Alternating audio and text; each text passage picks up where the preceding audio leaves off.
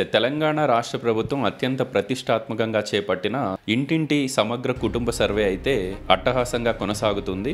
ఎన్యూమరేటర్లు ప్రతి ఇంటికి వెళ్ళి ఆ ఇంట్లో ఎంతమంది కుటుంబ సభ్యులు ఉంటారు వాళ్ళ ఆర్థిక స్థితిగతులే కానివ్వండి వాళ్ళ సామాజిక అంశాలను నోట్ చేసుకునే పరిస్థితులు కనిపిస్తున్నాయి. ఇదిలా ఉంటే పటాన్చెరు నియోజకవర్గంలో సర్వే మీద ప్రతిపక్ష నాయకులు తీవ్ర విమర్శలు చేస్తూ ఉన్నారు. అసలు ఈ సర్వే ఎందుకు? గతంలో బీఆర్ఎస్ ప్రభుత్వం ఉన్నప్పుడు ఒక సర్వే చేసింది కదా మళ్ళీ కాంగ్రెస్ పార్టీ సర్వే ఎందుకు చేస్తుంది? కాంగ్రెస్ సర్కార్ అని చెప్పి వాళ్ళు విమర్శలు ఎక్కువ పెడుతూ ఉన్నారు.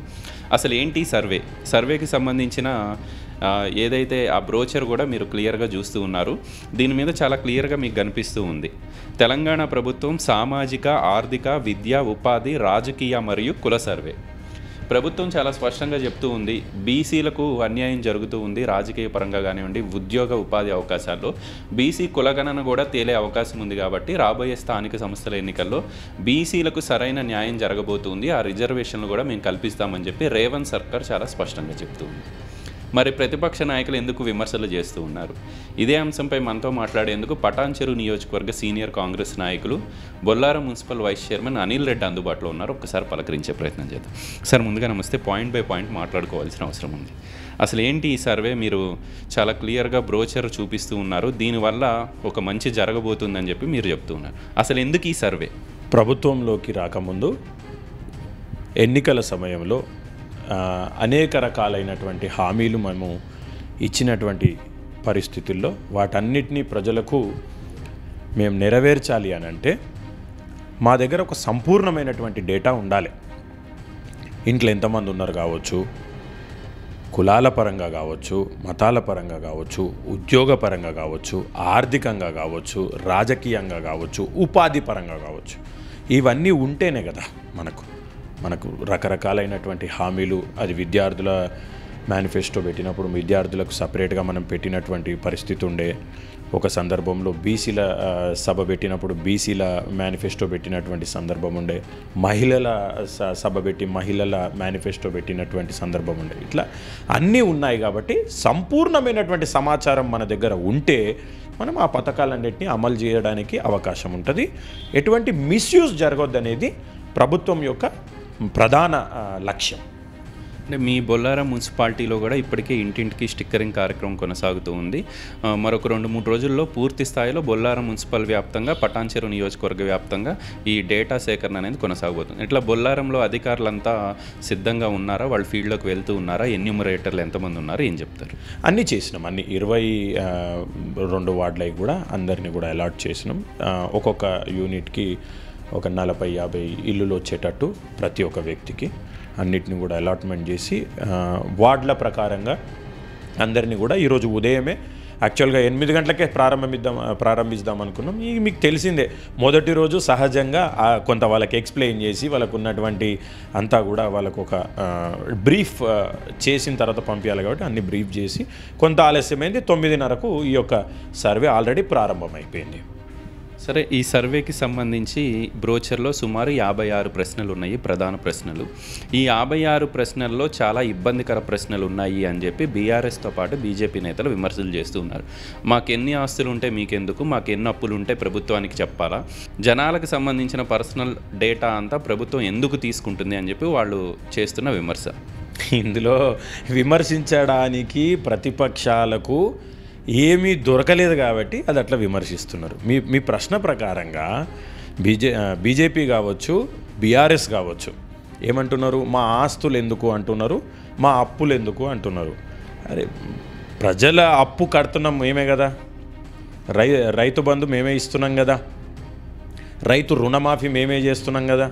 రైతు రుణమాఫీ అప్పు కాదా? అప్పే కదా. మీ అప్పు మేము కడుతున్నాము. అవునా కదా? సో అందుకే మీ సమాచారం మేము సేకరిస్తున్నాం. మీకు ఉన్నటువంటి ఇబ్బందులు ఏంది ఇప్పుడు మన సర్వేలోనే క్లియర్గా ఏం చెప్పారు ఇక్కడ? ఆర్థిక విద్య ఉపాధి రాజకీయ మరియు కుల సర్వే.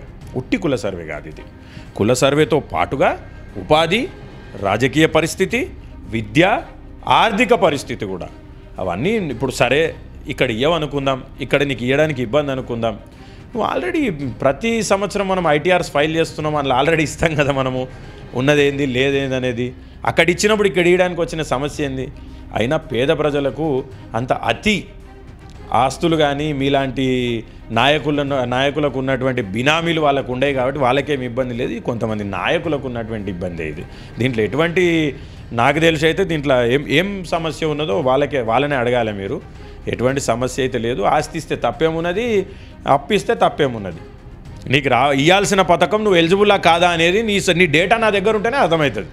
మీ డేటా నా దగ్గర ఉంటేనే కదా మీకు ఈ పథకానికి మీరు ఎలిజిబుల్ కాదో తెలవాల్సింది అందుకోసమే అడుగుతున్నారు తప్ప ఏదో ఇంకేదో చేద్దామనే ఆలోచన అయితే ఏం లేదు ఇక్కడ ప్రభుత్వానికి. అంటే రెండు మూడు ప్రశ్నలు ప్రధానంగా ప్రతిపక్ష నాయకులు లేవనెత్తుతూ ఉన్నారు. మీరు ఏదన్నా పార్టీలో పనిచేశారా ఒకవేళ పని చేస్తే ఏ ఏ పదవుల్లో మీరు ఉండి ఉన్నారు? గతంలో ఎంపీటీసీలుగా సర్పంచులుగా ఏమన్నా పనిచేశారా అన్న కాలం ఉంది అని చెప్పి వాళ్ళు చెప్తున్నారు. నిజంగానే అట్లాంటి ప్రశ్న ఉందా? అసలు ఉంటే ఏం ప్రశ్న ఉంది? అది అవగాహన లేని కొంతమంది ప్రతిపక్ష నాయకులు చెప్పేటటువంటి మాట. ఇక్కడ ఏమున్నదండి? మీరు ఒకసారి గమనించండి. ఇలా గత ఐదు సంవత్సరాలుగా మీరు ఎక్కడనన్నా ప్రజాప్రతినిధిగా పనిచేసినరా అని అన్నాడు. ఏ పార్టీలో పనిచేసిరా అని అడుగుతలే ఇక్కడ. ప్రజాప్రతినిధిగా. అంటే దాని అర్థం ఏంది? గత ఐదు సంవత్సరాల కింద మా అమ్మగారు ఎంపీటీసీగా ప్రజాప్రతినిధిగా ఎలక్టెడ్ రిప్రజెంటేటివ్ ఫ్రమ్ పబ్లిక్ చేసింది. సో ఆ డీటెయిల్స్ ఇస్తాం. ఇప్పుడు నాది ఉండొచ్చు. వైస్ చైర్మన్గా గత నాలుగు సంవత్సరాల ఎనిమిది నెలలు తొమ్మిది నెలలు ఎంత అయిందో ఆ యొక్క డేటా ఇస్తాం. పనిచేసిన సో అండ్ సో కాల పరిమితికి ఇంత పనిచేసినని ప్రజాప్రతినిధి అడిగారు. కార్యకర్తలదో లేకపోతే ఏ పార్టీలు ఉన్నారు నువ్వు ఏం చేస్తున్నావు నువ్వు ఏ కండవ కప్పుకున్నావు ఏ జెండా ఎత్తుకున్నావు మాకెందుకండి ఆ సమాచారం? ప్రజలకు స్వేచ్ఛ ఉన్నది రాజ్యాంగం కల్పిస్తున్నది. ఎవరు ఏ పార్టీ కావాలంటే ఆ పార్టీలకు పోవచ్చు. ప్రజలు ఎప్పటికొకరికే తీర్పు అయితే ఇయ్యరు కదా. గత పదేళ్ళు వాళ్ళు ఉంటే తీర్పు మాకు ఇచ్చిరంటే ప్రజలు ఒకవైపు ఉన్నట్ట కాదు కదా. ప్రజలకు కాదు ఇది. ఈ కో సోకాళ్ళు కొంతమంది ఈ తప్పుడు ప్రచారం చేస్తున్నటువంటి కార్య కార్యకర్తలకు ఉన్నటువంటి సమస్య ఇది. ఇక్కడ ఉన్నటువంటి కాలం కూడా క్లియర్ కట్గా ఏం చెప్పిండు? నామినేటెడ్ కార్పొరేషన్ బోర్డు ఏదైనా బోర్డులో లేదా సహకార సంఘం అంటే మన ఆప్కా ఇవి ఉన్నాయి కదా. ఆ, బ్యాంకి కానీ డీసీసీబీ కానీ ప్రభుత్వేతర సంస్థల్లో సభ్యులు సంఖ్యా సభ్యులు ఎంత చేసినటువంటి ఏమన్నా ఉన్నాయా అని అడిగారు. అందులో దానికి ఇబ్బంది ఏముందండి? నువ్వు ఉంటే చేస్తే చేసినా అని చెప్పు లేకపోతే చేయలే అని చెప్పు. ఇది అందరికి వచ్చిన సమస్య కాదు కదా. అసలు రాజకీయ నాయకులు పదవి చేసినవా లేదా? చేస్తే చేసినా లేకపోతే లేదు. ఇంట్లో ఏ పార్టీలు ఉన్నామని ఎవరు అడిగారు? అది వాళ్ళకి పాపం. ఫస్ట్ ఆఫ్ ఆల్ ఏముందో తెలియకుండా ఏదో ఒకటి బట్టగాల్సి మీద వేయాలి దుమ్మెత్తి పోయాలి. దీనికోసం వాళ్ళు ఏదో తప్పుడు ఆరోపణలు చేస్తున్నారు. అంటే సమగ్ర కుటుంబ సర్వేలో కుటుంబ సభ్యుల వివరాలన్నీ సేకరిస్తూ ఉన్నారు. వాళ్ళు ఏం పని చేస్తూ ఉన్నారు ఏం చదువుతూ ఉన్నారు అనేది అంతా సేకరిస్తున్నారు. కానీ ఎన్ని గొర్రెలు ఉన్నాయి ఎన్ని బర్రెలు ఉన్నాయి అంత సమాచారం ఎందుకు అని చెప్పి కొంతమంది ప్రశ్నిస్తూ ఉన్నారు బీజేపీ వాళ్ళు ముఖ్యంగా. అయ్యో దీంట్లో తప్పేముందండి? గతంలో గొర్రెలు ఇచ్చిర్రు. అవి ఉన్నాయా? దానివల్ల ఏమైనా అభివృద్ధి చెందావా? లేకపోతే వా ఏమన్నా అనారోగ్య పరిస్థితుల్లో ఆ గొర్రెలు ఏమన్నా ఉన్నాయో లేవో మళ్ళీ ఇప్పుడు ఏమైనా నీకు ఇంకేమైనా సాయం చేయగలుగుతామా ప్రభుత్వం తరపున? లేదా గేదెల విషయానికి వస్తే మా యాదవ సోదరులకు ఏమైనా న్యాయం చేయగలుగుతామా? గొర్రెల విషయానికి వస్తే కుర్మ సోదరులకు ఏమైనా న్యాయం చేయగలుగుతామా? అట్లా దానికోసమే అన్నిటిని ప్రతిదాన్ని తప్పుదో పట్టి పట్టి మాకు ఎన్ని ఎన్ని ఏమున్నాయా అని అడుగుతున్నట్టు నీకు ఉన్నాయా లేవా? లేకపోతే ప్రభుత్వం నుంచి నేనేం చేయగలుగుతానా? భవిష్యత్తులో రేపు ఏదైనా పథకం వచ్చిందనుకో ఈరోజు ఇవి మీ ఎంట్రీ ఎంట్రీ ఇవ్వలేరు అనుకుందాము. లేవో ఉన్నాయో ఏదో ఒకటి. ఆ రోజు ఎలిజిబిలిటీ ఉన్నా కానీ నువ్వు ఈరోజు అప్లికేషన్లో నాకు ఉన్నాయి అని చెప్పో లేవని చెప్పో ఇయ్యలేవు అనుకో. అప్పుడు ఏంటి సమాచారం? ఆ రోజు ఈ సోకాల్డ్ బీజేపీ నాయకులు సోకాల్డ్ బీఆర్ఎస్ నాయకులు వచ్చి వీళ్ళు ఇప్పిస్తారా? ప్రజల దగ్గర ఏమున్నాయి? స్థలం ఉందా? లేదా? స్థలం లేకపోతే ఏ లేదని. ఉంది అంటే ఉంది. ఎన్ని ఎన్ని గుంటలలో ఉన్నది? ఒకవేళ మీకు రైతు బంధు పడుతుందా? రైతు బంధు పట్టా పాస్బుక్ ఉందా? ఉంటే ఉంది. లేకపోతేనేమో లేదు. ఎందుకు లేదు? అది రీజను అంటే ఇప్పటివరకు గత పది పదేళ్ళల్లో ఈ ధరణి పేరులో ఏమైనా మోసాలు జరిగి కావాలని కొంతమందికి పట్టా పాస్బుక్లు ఇయ్యక అనేక మంది ఎన్నో కోకొల్లలు పంచాయతీలు వచ్చినాయి ఎన్నో కంప్లైంట్లు వచ్చినాయి లొల్లి పెట్టి ఉన్నారు. అది తెలిస్తే కనీసం పలానా జీకే గారికి ఈరోజు పట్టా పాస్బుక్ ఇయ్యలేరండి పదేళ్ళ నుంచి నాకు ధరణిలో నా పాస్బుక్ రాలేదంటే ఈరోజు ఆ పాస్బుక్ వచ్చే అవకాశం ఉంటుంది కదా. ఆ డేటా మేము ఎంఆర్ఓ ఆఫీస్కి ఇస్తే ఆ పలానా ఆయనకు రైట్ ఈయనకు రాలేదు. చలో అలర్ట్ చేద్దాం ఇచ్చేస్తారు నీ భూమి పాస్బుక్ నీకు. అట్లా డేటా డేటా డేటాలో ఏం తప్పు ఉందండి డేటా సేకరించడంలో ఉన్నటువంటి తప్పేముందో నాకైతే అర్థం కాలే వాళ్ళకి. వచ్చిన ఇబ్బంది. ప్రభుత్వం సంక్షేమ పథకాలను అమలు చేయడం కోసం ఈ ఈ సర్వే చేపడుతూ ఉంది. సమగ్ర కుటుంబ సర్వే అని చెప్పి పార్టీ నాయకులుగా మీరంతా చెప్తున్నప్పటికీ ఇంకొక విషయాన్ని ప్రతిపక్ష నాయకులు లేవనెత్తుతూ ఉన్నారు. ప్రజల్లోకి కూడా వెళ్ళేందుకు సిద్ధమవుతూ ఉన్నారు. ఈ డేటా అంతా సేకరించిన తర్వాత వీళ్ళకి పొలం ఉంది స్థలం ఉంది ఇల్లు ఉంది ఇంత జీతం సంపాదిస్తున్నారని చెప్పి ఏదైతే ప్రభుత్వం కాంగ్రెస్ పార్టీ హామీ ఇచ్చిందో ఆరు గ్యారంటీలను ఎగ్గొట్టేందుకు ఇదంతా ఒక ప్రణాళిక అని చెప్పి వాళ్ళు విమర్శలు చేస్తున్నారు. ఎందుకంటే మీరు గృహలక్ష్మి ఇస్తానన్నారు మహిళలకి అమౌంట్ ఇస్తానన్నారు ఇవన్నీ ఎగ్గొట్టడం కోసం అందరి సమాచారాన్ని సేకరిస్తూ ఉన్నారు. మీకు అన్నీ ఉన్నాయి కదా ఇంకా ప్రభుత్వ పథకం ఎందుకు అని చెప్పి వాళ్ళు అడుగుతున్న ప్రశ్న. ఇట్లా ఈ ఈ- ఇదంతా జరగబోతుంది అని. ఇప్పుడు జీకే గారు మీకు ఇల్లుంది గృహలక్ష్మి పథకంలో మీరు ఇంటికి ఎలిజిబుల్ గారు మీకున్నటువంటి స్థలం మీద ఐదు లక్షలు కట్టుకోవడానికి ఎలిజిబుల్ అవుతారు. స్థలం ఉంటే ఐదు లక్షలకు ఇస్తామని చెప్పినాం కదా దానికి ఎలిజిబుల్ అవుతారు. స్థలం లేకపోతే స్థలానికి ఎలిజిబుల్ అవుతారు. అది ఇప్పుడు ఉద్యోగాలు చేస్తున్నారా లేదా అని అడుగుతున్నారు. నిరుద్యోగ సదస్సు పెట్టి ఉద్యోగుల గురించి మేము ఒక పెద్ద మేనిఫెస్టోని పెట్టినాం కదా వాటిని అమలు చేయాలంటే మాకు అవగాహన ఉండాలి. జీకే గారి ఇంట్లో ఎవరున్నారు? ఏంటి? అన్నదమ్ములు ఎంతమంది? వాళ్ళకి ఎంతమందికి ఉద్యోగాలు ఉన్నాయి? ఉపాధి ఉందా? లేదా సెల్ఫ్ ఎంప్లాయిడా కాదా? ఒకవేళ సెల్ఫ్ ఎంప్లాయిడ్ అయితే ఎక్కడ పని చేస్తున్నాడు వాళ్ళ పే ఎంత వస్తున్నది ఇంకా ఏదైనా సిబ్లింగ్స్ ఉంటే బ్రదర్స్ అండ్ సిస్టర్స్ ఉంటే వాళ్ళ నిరుద్యోగులు ఎంతమంది ఉన్నారు? ఆ నిరుద్యోగులలో ఎంతమందికి ఉద్యోగం లేదు? మనం ఏమైనా ఎంతవరకు చేయగలుగుతాం ప్రభుత్వం నుంచి? ఇవన్నీ డేటా మా దగ్గర లేకపోతే ఎట్లా చేస్తాము? మహిళా మనులకు మేము స్కూటీలు ఇస్తాము అవి ఇవ్వాలంటే మా దగ్గర డేటా ఉండాలి. డేటా తీసుకో తీసుకుంటే వచ్చినటువంటి తప్పేమున్నది? వీళ్ళకి వచ్చిన ఇబ్బంది ఏందో నాకు అర్థమైతలేదు. రెండు వేల పద్నాలుగు ఆగస్టులో కేసీఆర్ ముఖ్యమంత్రిగా ఉన్న సమయంలో ఇలాంటి కుటుంబ సర్వేనే నిర్వహించారు. ఆ డేటా అంతా ఇప్పటికే ప్రభుత్వం దగ్గర ఉంది. ప్రభుత్వాలు మారినా నాయకులు మారినా ఆ డేటా అయితే ప్రభుత్వం దగ్గర ఉంది. దాన్ని వినియోగించుకోవచ్చు కదా. దాని మీద కూడా కోర్టు కేసుల వల్ల ఆ డేటా అంతా బయటికి రాలేదు. బీఆర్ఎస్ నాయకులు ఇంకొక ఉన్నారంటే ఇవాళ మేము ఇన్ని సంక్షేమ పథకాలు పదేళ్ళలో అమలు చేశామంటే ఆ డేటా ప్రకారమే మేనిఫెస్టోలో లేని కూడా ఇచ్చాము గొర్రెల పంపకం కానీ ఇవన్నీ మేము వాడుకున్నాం కదా. ఆ డేటాను వాడుకోవచ్చు కదా అని వాళ్ళు ప్రశ్నిస్తూ ఉన్నారు అసలు ఇప్పటివరకు ఆ డేటా ఎక్కడన్నా పది సంవత్సరాల వాళ్ళు ఎక్కడన్నా ఏ డొమైన్లనన్నా పెట్టిరా ఏ అయితే ఆరోపణ చేస్తున్నటువంటి బీఆర్ఎస్ నాయకులు గతంలో వాళ్ళ పాల పాలకం ఉన్నప్పుడు పరిపాలించినప్పుడు ఆ పదేళ్ళలో ఎక్కడైనా సరే ఆ డేటా పెట్టిర్రా? ఆ డేటా ప్రకారమే ఎవరికైనా గొర్రెలిచ్చిరా ఆ డేటా ప్రకారమే ఎవరికైనా పథకాలు అమలు చేసిరా ఆ డేటా ప్రకారమే చేసి ఉంటే మీరు ఈరోజు ఎందుకు ఓడిపోయి అవతల పోయి ప్రతిపక్షంలో కూర్చుంటారు? అది చక్కగా లేకనే సంపూర్ణమైనటువంటి ఎప్పుడైనా కాంగ్రెస్ పార్టీ అనేది పేద ప్రజలకు సంపూర్ణమైనటువంటి విశ్వాసం న్యాయం చేసేటటువంటి పార్టీ. ఇందులో ఆ డేటాలో ఆ రోజు ఆ డేటా సరిగ్గా లేదు కాబట్టి ఈరోజు మళ్ళీ ఒకసారి ఇది చేయడం వల్ల వాళ్ళకి వచ్చిన ఇబ్బంది ఏంటండి వాళ్ళు ఖాళీ నీ దగ్గరకు వచ్చి అయితే నిన్నేమి నాతో పాటు ఇంటింటికి తిరుగు నాతో పాటు నీ టైం వేచించు చెమటగార్చ అని అడుగుతలేరు కదా. నీ ఇంటికి వస్తున్నారు ఏంటి జీకే గారు? మీ ఇంట్లో ఎంతమంది ఉన్నారు మీ తల్లిదండ్రుల పేరేంటి? మీ అన్నదమ్ముల పేరేంటి? వాళ్ళ వివరాలు చెప్పండి. వాళ్ళ అన్ని విధాలుగా ఆ రాజకీయంగా కావచ్చు ఆర్థికంగా కావచ్చు ఉపాధి పరంగా కావచ్చు విద్యాపరంగా కావచ్చు స్థానికంగా కానీ ఏదైనా స్థలం పరంగా. మీ డీటెయిల్స్ అడుగుతున్నారు. మీ డీటెయిల్స్ ఇప్పుడు మీకు ఆ పథకాలకు ఎలిజిబిలిటీ ఉంటే మీకైతే చెప్పాలనే ఆలోచన ఉంటుంది తప్ప చెప్పొద్దని ఉండదు కదా. అవి చెప్తేనే కదా మేము కూడా చేసేది. అండ్ ఇంకొకటి ఈ ఏదైతే ఈ సర్వేకి సంబంధించి ముఖ్యంగా అందరూ గమనించాల్సింది ప్రభుత్వం చాలా స్పష్టంగా చెప్తూ ఉంది ఎటువంటి జిరాక్స్లు లేకపోతే మీ ఒరిజినల్ డాక్యుమెంట్లు మేము తీసుకోము ఎన్యూమరేటర్లు తీసుకోరు కేవలం మీరు ఇచ్చిన సమాచారాన్ని ఇందులో నమోదు చేసుకున్నారు కానీ మీ డేటా అంతా తీసేసుకుంటారు మీరు ఆధార్ కార్డులు ఇవ్వద్దు అని చెప్పి ప్రతిపక్ష నాయకులు చెప్తున్నారు. అసలు ఆధార్ కార్డులు అని అడుగుతూ ఉన్నారా? ఆధార్ నెంబర్ అనేది మ్యాండేటరీ బ్రదర్. అందరికీ తెలిసిందే ఇది. ఆధార్ కార్డ్ నెంబర్ లేకపోతే ఎట్లా నేను ఐడెంటిఫై చేయగలుగుతా? కొంతమందికి ఓటర్ కార్డ్ ఇక్కడ ఉండొచ్చు ఉండకపోవచ్చు. కొంతమందికి పట్టా పాస్బుక్ తన సొంత ఊరిలో ఉండొచ్చు ఉండకపోవచ్చు. వలస వెళ్ళిన వాళ్ళు ఉంటారు వాళ్ళ ఆధార్ కార్డులో బేస్ చేసుకునే కదా మేము చేయాల్సింది. ఆధార్ నెంబర్ సరే. ఇప్పుడు నీకు ఎంత ఆస్తున్నది ఎంత ఆస్తి లేదు? నీ వివరాలు అడుగుతున్నావు? ఇవన్నీ వాళ్ళకెందుకు అని అంటే నీ- అసలు ఈ రోజుల్లో బ్యాంక్ అకౌంట్ నన్ను అడిగితే పాన్ కార్డు లేనిది ఇస్తున్నారా? ఎక్కడ నన్ను ఉంటే చెప్పండి. అందరు పోయి అదే బ్యాంకులో ఓపెన్ చేసుకుంటారేమో మరి. మీలాంటి ఆలోచన విధానం ఉన్నవాళ్ళు అసలు పాన్ కార్డు లేనిది బ్యాంక్ అకౌంటే ఓపెన్ కాదు. బ్యాంక్ అకౌంట్ ఓపెన్ అయిందంటే పాన్ కార్డు ఉన్నట్టే. పాన్ కార్డు ఉందంటే నీ వివరాలన్నీ అక్కడ కనిపిస్తూనే ఉంటాయి. నీకు ఉన్నది ఏంది లేదనేది. అవునా కదా? ఈ డేటా అంతా ఉంటేనే కదా పనిచేసేది. చాలామంది జనాలు భయపడుతున్నారు అని చెప్పి ఒక ప్రచారం చేస్తున్నారు ఇదే ప్రతిపక్ష నాయకులు. ఇప్పుడు ఈ డేటా అంతా ఎక్కడికి వెళ్తుంది? ఏ డొమైన్లో పెడతారు? గతంలో ఉన్న ప్రభుత్వాలు కొంత మిస్యూజ్ చేసినాయి అని చెప్పి బీజేపీ వాళ్ళు అప్పుడు టీఆర్ఎస్ వాళ్ళు చేసినప్పుడు కూడా వాళ్ళు విమర్శలు చేశారు. మళ్ళీ అదే విమర్శల్ని కాంగ్రెస్ మీద కూడా చేస్తూ ఉన్నారు. సైబర్ క్రైమ్ జరిగే అవకాశం ఉంది. ఈ డీటెయిల్స్ అన్నీ ఒకవేళ వాళ్ళ చేతులకు ఏమన్నా వెళ్తే మా పరిస్థితి ఏంటి? జనాల పరిస్థితి ఏంటి? అని చెప్పి వాళ్ళు అడుగుతూ ఉన్నారు. ఈ డేటా ఈ సమాచారం పూర్తిగా గోప్యంగా ఉంటుందా? ప్రభుత్వ స- సర్వర్లు ఎప్పుడైనా చాలా స్ట్రాంగ్గా ఉంటాయి.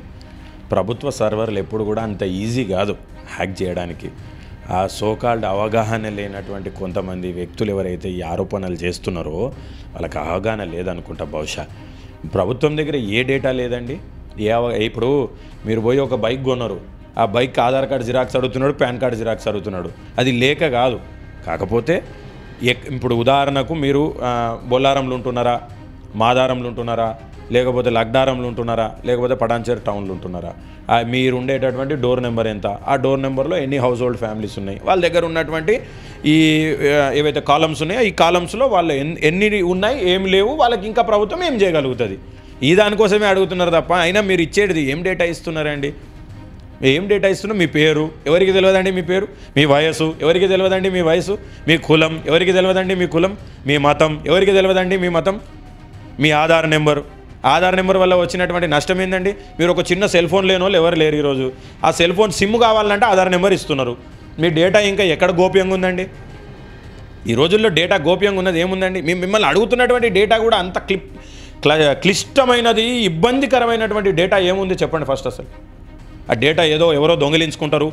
ఆ డోటా డేటా దొంగిలించి ఇంకేదో జరుగుతుంది అనడానికి అసలు ఏమి ఇస్తున్నారు అందులో? జ- జనరలే కదా అడుగుతున్నది. ఏమండి మీ పేరేంటి? నా పేరు అనిల్ కుమార్ రెడ్డి అండి. మీ వయసు ఎంత? నా వయసు ఇదండి. మీరు ఏ కులం అండి? నా కులం ఇదండి. మీ మతం ఏదండి? నా మతం ఇదండి. మీ ఆధార్ నెంబర్ ఎంత అండి? ఇగో ఇదండి. మీరు ఉండే ఇల్లు మీ సొంతమేనా? అవునండి. మీకు ఏమైనా అప్పులు ఉన్నాయా అండి ఉన్నాయండి. ఇది యాభై ఆరుకు సంబంధించి ఒక ప్రశ్న కనపడుతుంది. ఎలాంటి బెదిరింపులు వివక్ష లేకుండా మీ కుటుంబంలోని సభ్యులు స్థానిక దేవాలయాలకు మసీదులకు చర్చలకు ఇలా ప్రార్థనా మందిరాలకు మీ మనస్ఫూర్తిగానే వెళ్తున్నారా? అని ఇదేం ప్రశ్న అంటే నాకు తెలియక అడుగుతున్నాను. అందరూ మనస్ఫూర్తిగానే కదా వెళ్ళేది? ఆ ప్రశ్న అవసరమా అనేది కొంతమంది అడుగుతున్నారు అంటే కొన్ని బ్యాక్వర్డ్ విలేజెస్లో ఇంకా ఎక్కడన్నా ఇంకా అంటరానితనం ఉందా? ఎక్కడైనా అంటరానితనం ఉందా? ఏమన్నా ఇంకా వివక్షకు గురవుతున్నారా? అట్లా వివక్షకు గురవుతున్న వాళ్ళకు మేమేం రక్షణ కల్పించగలుగుతాం ప్రభుత్వం తరపున? ఆ పరిష్కారం ఏం చేయగలుగుతాం? అదే ఆ ప్రశ్న తప్ప వేరే ఏం లేదాడ. ఇంకా ఏదన్నా కులాల పరంగా కానీ మతాల పరంగా కానీ ఏమైనా వివక్ష చూపించి ఇంకా ఏదన్నా ఒత్తిడి పెట్టి పెత్తందారులు కానీ ఎవరన్నా ఇంకా ఏమన్నా జులుం చూపిస్తున్నారా? అటువంటి పరిస్థితుల్లో ఆ ఒత్తిడిలో మీరు ఏమన్నా జీవిస్తున్నారా? ఉంటే చెప్పండి. దాన్ని మేము ఏ విధంగా ప్రభుత్వం తరపున పరిష్కరించాలి? ఇంకా దశాబ్దాల కాలం నాటి స్వతంత్రానికి ముందున్నటువంటి పరిస్థితులు ఇంకా ఇప్పటికి కూడా ఉంటే ఇంత హై టెక్నాలజీ యుగంలో ఎలాగండి? వాళ్ళు కూడా వాళ్ళు మనతో పాటు సహోదరులే కదా సోదరులే కదా. మరి వాళ్ళను కాపాడాల్సినటువంటి రక్షించాల్సినటువంటి వాళ్ళకు ఉన్నటువంటి సమస్యలు పరిష్కరించాల్సినటువంటి బాధ్యత రాష్ట్ర పెద్దగా ముఖ్యమంత్రిగా ప్రభుత్వ అధినేతగా రేవంత్ సర్కార్ పైన రేవంత్ రెడ్డి గారి పైన ఉందా లేదా? ఉంది. ఉంటే మీకు ఉంటేనే చెప్పండి. ఇప్పుడు మీకు సమస్య ఉంటే చెప్పండి. లేకపోతే లేదని చెప్పండి సార్. ఉందంటే మేము పరిష్కరించడానికి స్థానికంగా ఉన్నటువంటి ఆఫీసర్ల ద్వారా కానీ ఇంకో ద్వారా కానీ ఎట్లా దీన్ని పరిష్కరిస్తామనేది ఆ డేటా కావాలి. ఉంటే సంతోషం చేసేస్తాం. దాంట్లో సమస్య ఏముందండి? యాభై ఆరో కాలంలో. నాకైతే పెద్ద సమస్య అనిపించట్లేదు. ఎట్లా బీసీ కులగణన ద్వారా చాలామంది బీసీ బిడ్డలకు న్యాయం జరగబోతుంది అని చెప్పి చాలా వరకు మెజారిటీ బీసీలంతా హర్షం వ్యక్తం చేస్తూ ఉన్నారు ఎక్కడికక్కడ సంబరాలు చేసుకుంటూ ఉన్నారు. మీకు ఎట్లా అనిపిస్తుంది రేపు రా- రాబోయే లోకల్ బాడీ ఎన్నికల్లో బీసీలకు తగిన ప్రాధాన్యం దొరకబోతుందని చెప్పి అందరూ చెప్తున్నమాట ఇప్పటి వరకు దొరకలేదు కాబట్టి ఇకపై అన్న ఇప్పుడు పాపులేషన్లో అధిక సంఖ్యలో ఉన్నటువంటి కులాలు ఏవైనా ఉన్నాయంటే బీసీలే. మరి వాళ్ళకి ఏం ప్రా వాళ్ళకు వాళ్ళు ఉన్నటువంటి ఎంత ఎంత పాపులేషన్ అవుతున్నారో అంత ఫెసిలిటీస్ కానీ అంత ఉపాధి కానీ అంత రిజర్వేషన్స్ కానీ ఇప్పటివరకు వచ్చినా రాలేవు. కాబట్టి గత ప్రభుత్వాలన్నీ కూడా గత పాలకులందరూ కూడా కనుక ధోని దశాబ్దాలుగా చెప్పుకుంటూ వచ్చారు. మేము అది చేస్తాం ఇది చేస్తాం అది చేస్తాం. మేము చెప్పిన నాడు కూడా అన్నారు. ఏమన్నారు? ఎన్నికల నాడు? ఇదంతా అయ్యేది కాదు. రేవంత్ రెడ్డి గారు వారి మంది మార్గం అంతా కలిసి తప్పుడు చెప్తున్నారు ప్రజలకు వాగ్దానాలు. తప్పుడు వాగ్దానాలు చేస్తున్నారు వాళ్ళని నమ్మకండి. మీరు కేసీఆర్ అది ఇది తెలంగాణ పిత అత అని చెప్పి పీతం చేసిరు లాస్ట్కు. ఇట్లా తప్పుడు ప్రచారాలు చేసి ఇప్పుడు కూడా గదే చేస్తున్నారు. కేసీఆర్ గారు అది ఇది అంటేనే కేసీఆర్ గారిని తీసుకో ఇంట్లో కూర్చోబెట్టారు అవునా కదా? ఈ కులగణనంతా మాటలు చెప్పి చేయలేరు కాబట్టి రేవంత్ రెడ్డి గారు చెప్పిన మాట చేయడంలో ముందు అడుగులో ఉంటారు కాబట్టి ఫస్ట్ ఏదైతే మనం వాగ్దానం చేసినామో అది చేయాలి. దీని ద్వారా బీసీ కులాలకు సంబంధించినటువంటి యువకులు కావచ్చు భవిష్యత్తు తరాలకు కావచ్చు వాళ్ళందరికీ కూడా ఉపాధి అవకాశాలు కావచ్చు ఉద్యోగ అవకాశాలు కావచ్చు భవిష్యత్తులో రాజకీయ అభివృద్ధి కావచ్చు. అట్లనే వాళ్ళు బయట చదువులు చదువుకోవడానికి వాళ్ళకు ఫీ ఫీజు ఫీజు రియంబర్స్మెంట్లు కావచ్చు. అనేకంగా ఎన్నో విధాలుగా ఉపయోగపడుతుంది. వాళ్ళందరికీ లబ్ధి పొందుతారు. ఎక్కువ పాపులేషన్ ఉన్నటువంటి కులాలన్నిటికి కూడా సరైన న్యాయం రేవంత్ రెడ్డి గారు తీసుకున్నటువంటి ఈ కులగణన సర్వే ద్వారా తప్పకుండా వాళ్ళకి న్యాయం జరుగుతుంది. ఏదైనా మంచి ఎప్పుడైనా ఆలస్యంగా వస్తుంది చెడు ఫాస్ట్గా వస్తుంది. సో మంచి జరిగేటప్పుడు కొంత సమయం తీసుకుంటుంది. వాటి దీన్నే ఎక్కడా కూడా తప్పుడు దోవిలో పడకుండా మిస్యూజ్ జరగకుండా చేయాలనేటటువంటి ఆలోచనతోటి రేవంత్ రెడ్డి గారు వారి సర్కార్ నిర్ణయం తీసుకున్నది. పూర్తిగా సంపూర్ణంగా ఇచ్చినటువంటి వాగ్దానాలు కావచ్చు చెప్పినటువంటి మాటలన్నింటినీ కూడా అమలుపరచడానికే ఈ సర్వే చేస్తున్నారు. చివరిగా సమగ్ర కుటుంబ సర్వేలో ప్రభుత్వం ఒక మంచి నిర్ణయం తీసుకుంది. అది ప్రజలకు చేరవేయాల్సిన బాధ్యత మీ మీద ఉంది. సరే ఇతర ప్రాంతాల నుంచి వచ్చి ఇక్కడ రెంట్లకు ఉండేవాళ్ళు ఇక్కడ ఉద్యోగాలు చేసుకునేవాళ్ళు ఇక్కడి నుంచే వాళ్ళ సమాచారాన్ని ఇవ్వచ్చు అని చెప్పి ప్రభుత్వం స్పష్టం చేస్తుంది వాళ్ళకి ఊర్లో ఇల్లు ఉండొచ్చు అక్కడ డీటెయిల్స్ అన్ని ఇక్కడ ఎన్యూమరేటర్లకు ఇస్తే సరిపోతుంది అని చెప్పి చెప్తున్నారు. దానివల్ల వాళ్ళు అక్కడికి వెళ్ళాల్సిన అవసరం లేదు మళ్ళీ ఉద్యోగానికి సెలవు పెట్టాల్సిన అవసరం కూడా లేదు. సమగ్ర కుటుంబ సర్వే కాదు సమగ్ర ఇంటింటి కుటుంబ సర్వే. సమగ్ర కుటుంబ సర్వే గతం అది. ఇది సమగ్ర ఇంటింటి కుటుంబ సర్వే. తెలంగాణ ప్రాంతంలో ఎక్కడుండి ఇచ్చినా ఒకటే. ఎక్కడ ఉండి ఇచ్చినా ఒకటే. మీరు మీ మీ దగ్గర మేజర్గా తీసుకుంటున్నటువంటి డీటెయిల్స్లు అన్నీ కూడా మీకు పట్టా పాస్బుక్ ఉంటే ఇక్కడ ఇచ్చే ఇక్కడ పట్టా పాస్బుక్ నెంబర్ ఇక్కడ చెప్పారు అనుకో అది ఏడుంటే ఏమున్నది? తెలంగాణ వ్యాప్తంగా ఒకటే కదా. మనకు ఒక కోడ్ ఉంటుంది పాస్బుక్ నెంబర్ ఉంటుంది. ఆ నెంబర్ మనం ఇక్కడ మెన్షన్ చేస్తాం. ధరణి పాస్బుక్ కలిగిన ఉన్నట్లయితే నెంబర్ రాయండి. అంతే. అది ఎక్కడ ఇచ్చినా ఒకటే. మనం ఎక్కడికి పోవాల్సిన అవసరం లే. ఎక్కడున్నామో అక్కడ నుంచి ఇచ్చుకోవచ్చు. తెలంగాణ ప్రాంతంలో ఎక్కడి నుంచి ఇచ్చినా అది స్పష్టంగా రికార్డ్ అయి ఉంటుంది. మనం ఊరికి పోయి ఇచ్చిన గదే ఆధార్ నెంబరు. మనం హైదరాబాదులో ఉండి ఇచ్చిన గదే ఆధార్ నెంబరు. ఊరికి పోతే మన ఆధార్ నెంబర్ మారదు మన సంఖ్యం మారదు. ఎక్కడ సౌలభ్యంగా ఉంటే మీకు ఎక్కడ అనుకూలంగా ఉంటే అక్కడి నుంచి వియ్యండి. ఎటువంటి ఈ ప్రతిపక్షాలు చేసేటటువంటి తప్పుడు ఆరోపణలు ప్రతిపక్షాలు చేసేటటువంటి కన్ఫ్యూజన్లో పడకండి. మీకు ఎక్కడి నుంచి సులభంగా సౌఖ్యంగా మీకు ఇబ్బందులు లేకుండా ఉంటుందో అక్కడి నుంచి సంపూర్ణమైనటువంటి రేవంత్ రెడ్డి గారిపైన విశ్వాసం ఉంచి నా మీరు ప్రభుత్వం ఇచ్చిర్రు. మళ్ళొకసారి విశ్వాసం ఉంచి మీకు కావాల్సినటువంటి డేటా ఇవ్వండి. పథకాలను ప్రభుత్వాన్ని ప్రజలను కులాలను మతాలను సబ్బండ వర్గాలను అందరినీ కూడా ఒక మంచి మార్గంలో నడిపించి అభివృద్ధి పదంలో తీసుకెళ్ళడానికి రేవంత్ రెడ్డి గారి సర్కార్ ఈ యొక్క నిర్ణయం తీసుకుంది. రేపటి నుంచి రోడ్ల మీదే ఉండబోతూ ఉన్నారా మీరు కూడా? ఎందుకంటే నియోజకవర్గంలో అధికారులు సర్వేలు చేస్తారు. బొల్లారంలో ఏంటంటే మీలాంటి వాళ్ళు అక్కడ ఉండాల్సిన పరిస్థితులు. ఎందుకంటే ఇది ఒక మినీ ఇండియా. రకరకాల ప్రజలు ఇతర రాష్ట్రాల ప్రజలు అందరూ ఉంటారు. వాళ్ళకి చాలా అపోహలు ఉంటాయి. అవన్నీ మీరు దగ్గర ఉండి క్లియర్ చేయాల్సిన అవసరం తప్పకుండా. ఎందుకంటే ఇది మొత్తం భారతదేశంలో ఉన్నటువంటి ఇరవై తొమ్మిది రాష్ట్రాలకు సంబంధించినటువంటి ప్రజలందరూ కూడా ఇక్కడ నివాసం ఉంటారు. ఇక్కడ నివాసం ఉండి వాళ్ళకు కొంత భాష ఇబ్బంది కావచ్చు కమ్యూనికేషన్ కోఆర్డినేషన్ రకరకాల సమస్యలు మన వెళ్ళినటువంటి ఎవరైతే ఇన్యూమినేటర్ వెళ్తాడో ఆయనకు వాళ్ళతో ఆ భాష కనెక్ట్ కావకపోవచ్చు. మాకు కొంత ఎప్పటి నుంచో కొన్ని దశాబ్దాలుగా వీళ్ళతో ఇక్కడ ట్రావెలింగ్ ఉన్నాం కాబట్టి వాళ్ళు చెప్పేది అర్థమవుతుంది. మేము మాట్లాడలేకపోయినా అది భోజ్పూరిలో చెప్పినా ఒడియాలో చెప్పినా తమిళ్ళో చెప్పినా లేకపోతే ఉర్దూలో చెప్పినా హిందీలో చెప్పినా తెలుగులో చెప్పినా మాకు కొంత అర్థమవుతుంది. కొన్ని ఏళ్ళ నుంచి వీళ్ళతో ట్రావెల్ చేస్తున్నాం కాబట్టి తప్పకుండా ప్రజలకు సర్వీస్ ఉంటాం. రేపటి నుంచి కాదు ఆల్రెడీ ఈ రోజు నుంచి. అందుకే మీకు కొంచెం నేను రావడానికి కూడా ఒక గంట లేట్ అయింది ఆఫీస్ ఆఫీస్కి అక్కడనే ఉండే ఫీల్డ్ మీదనే ఉండే. అవన్నీ వార్డులో చేస్తుండే. సర్వే జరుగుతున్నది కాబట్టి అక్కడనే ఉండే. మేము ఖచ్చితంగా ప్రజలకు అందుబాటులో ఉండి వీటిని ఏ సమస్య ఉన్నా మా దృష్టికి తీసుకురండి పరిష్కరించడానికి సిద్ధంగా ఉంటాం మున్సిపాలిటీ పరిధిలో మొత్తం. థ్యాంక్ యూ వెరీ మచ్ అన్న. సో ఇది ఓవరాల్గా ప్రతిపక్ష నాయకులు చెప్పే అపోహల్ని ప్రజలు నమ్మకూడదు అని చెప్పి బొల్లార మున్సిపల్ వైస్ చైర్మన్గా ఉన్న కాంగ్రెస్ పార్టీ సీనియర్ నాయకుడు అనిల్ రెడ్డి చెప్తున్నారు. ఏదైతే ప్రభుత్వం సమాచారాన్ని సేకరిస్తూ ఉందో ఈ సమాచారం చాలా గోప్యంగా ఉంటుంది. కేవలం పేద ప్రజలు బడుగు బలహీన వర్గాల ప్రజలకు సంక్షేమ పథకాలు అందించడం కోసమే రేవంత్ రెడ్డి సర్కార్ ఈ నిర్ణయం తీసుకుంది అని చెప్పి ఆయన చెప్తూ ఉన్నారు. బొల్లారం ప్రజలందరూ కూడా సహకరించాల్సిన బాధ్యత ఉంది అని చెప్పి ఆయన ఒక అప్పీల్ చేస్తున్నారు ఇంకొక విషయాన్ని కూడా గమనించాలి. ఇప్పుడు కరీంనగర్లో సిరిసిల్లకు సంబంధించిన వాళ్ళు ఈ బొల్లారంలోనే ఉండి ఉండొచ్చు. వాళ్ళు ఇక్కడే రెంట్కుండి ఉద్యోగాలు చేస్తూ ఉండొచ్చు. ఇప్పుడు ఈ సర్వే జరుగుతుంది కదా ఈ కుటుంబ సర్వే జరుగుతుంది కదా అని చెప్పి వాళ్ళు సిరిసిల్ల కరీంనగర్ వెళ్ళాల్సిన అవసరం లేదు. బొల్లారంలో వచ్చే ఎన్యూమరేటర్లకు వాళ్ళు డీటెయిల్స్ ఇస్తే సరిపోతుంది అని చెప్పి అనిల్ రెడ్డి గారు చెప్తున్నారు. ఖచ్చితంగా ఈ సమగ్ర ఇంటింటి కుటుంబ సర్వే ద్వారా తెలంగాణ రాష్ట్రం ఈ దేశంలోని అన్ని రాష్ట్రాలకు రోల్ మోడల్ కాబోతుంది అని చెప్పి అనిల్ రెడ్డి చెప్తూ ఉన్నారు. Video journalist Sanjitha Gopikrishna news sixteen Bollaram municipality నుంచి.